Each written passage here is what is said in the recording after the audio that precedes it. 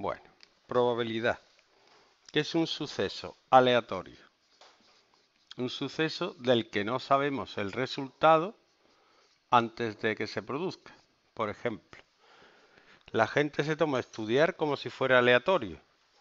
Voy a estudiar y la nota que saca, pues ya veré. Estudiar no es aleatorio. Si estudias y aprendes, apruebas. Es un suceso definido. Sin embargo, tirar una moneda es aleatorio, porque tú al, tirarla no puedes controlar de ninguna manera lo que te va a salir. ¿Vale? El espacio muestral de un suceso aleatorio es el conjunto de valores que puede tener. ¿Qué se puede dar al tirar una moneda? Pues que te salga cara o que te salga cruz. Al tirar un dado, pues que te salga 1, 2, 3, 4, 5, 6. Un dado normal, no un dado friki. Los dados friki son... puede dar cualquier cosa. Un suceso simple. Aquí son cara o cruz.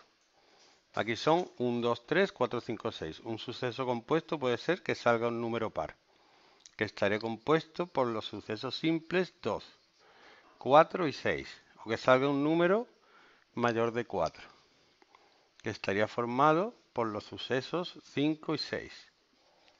¿Vale? La probabilidad de un suceso, esta es la ley de Laplace, digo yo que lo pronunciaré medio bien, Laplace. Dice que la probabilidad de un suceso A es el número de casos favorables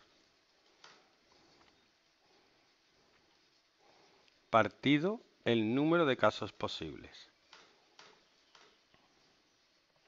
Por ejemplo, la probabilidad de que me salga una cara al tirar una moneda es... Hay dos casos posibles, que me salga cara o cruz, y cara es uno de ellos.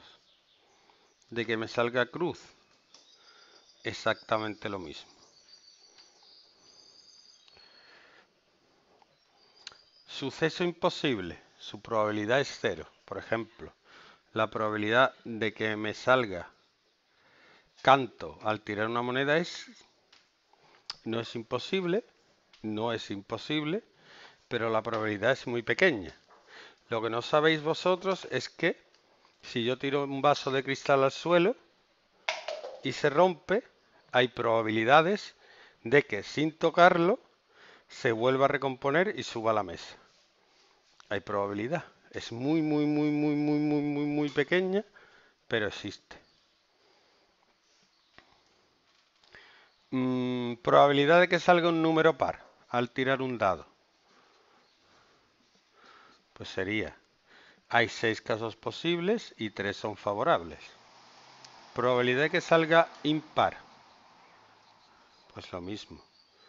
3 de 6. Probabilidad de que salga un número mayor que 4. 4 de 6. Eso es una introducción a la probabilidad. Y ahora vamos a meternos a hacer problemitas